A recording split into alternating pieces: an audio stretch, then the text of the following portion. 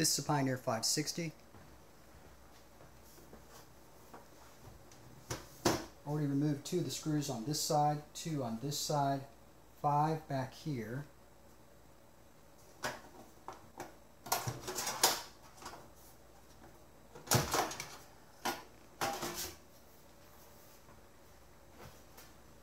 Okay, this is the hard drive.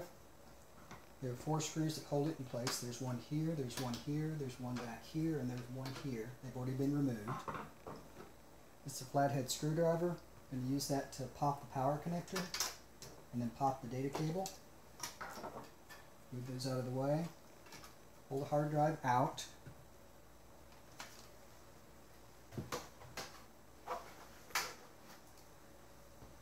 Okay.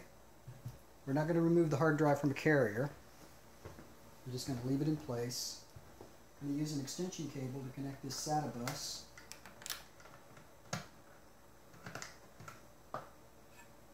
to the hard drive.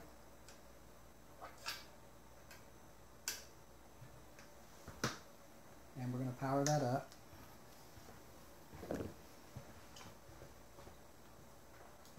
This laptop already has ISOBuster installed. Give it a second for the operating system to detect it. And we can start ISOBuster. We're going to tell it to focus on this drive.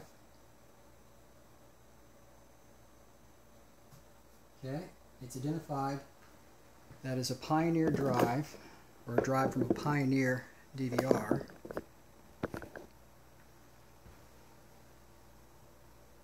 And it's identified there are two recordings on it.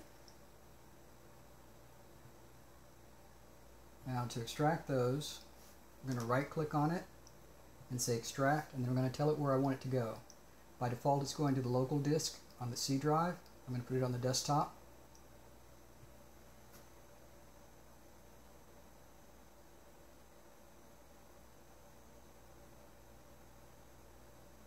Okay. We can also select multiples at the same time and also do extract objects. In this case I'll just extract the second one separately. Tell it where to go. They're pretty short clips. And then we can close it down.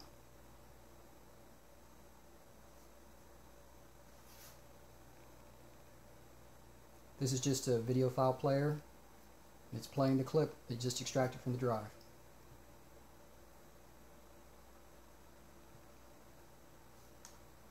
If you have any other media players, you can also try those as well. Windows Media Player.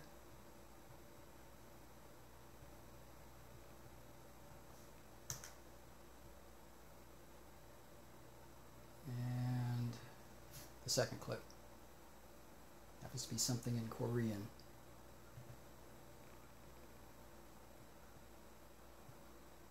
That's basically it.